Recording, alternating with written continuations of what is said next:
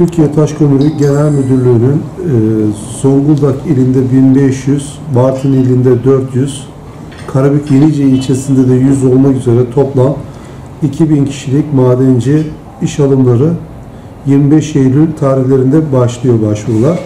İşkur İl Müdürü Okan Şentürk, Türkiye Taş Kömürü Kurumu'na başvurmak için İşkur'a bireysel başvuruların kabul edilmeyeceğini, başvuruların internet üzerinden ve Alo 170 üzerinden gerçekleştirileceğini söyledi. Şentürk şu bilgileri aktardı.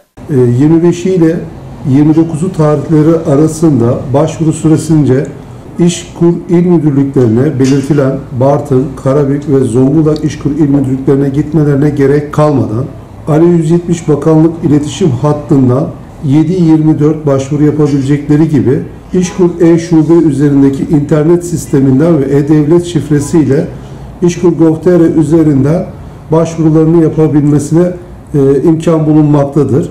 Bu nedenle vatandaşlarımızın sistemsel sıkıntıların haricinde manuel başvuru için e, Zonguldak, Bartın, Karabük İşkur İl Müdürlüklerine gelmelerine gerek bulunmamaktadır.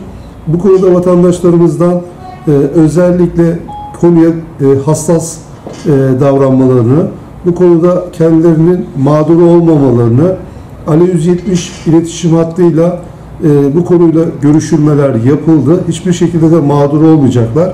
Dün Sayın Çalışma Bakanımız e, Profesör Doktor Vedat Işıkan ve Sayın İşkur Genel Müdürümüz Mustafa Işık'ın e, açıklamalarıyla da bu şekilde karar alındı. E, başvurular iletişim hattı üzerindeki Ali 170'ten ve internet üzerinden yapılacaktır. Manuel başvurular müdürlüğümüz tarafından e, kabul edilmeyecektir. Bu konuyla ilgili vatandaşlarımızı tekrar e, konuyla ilgili duyurularımızı tekrar yapmaya devam edeceğiz. Teşekkür ederiz.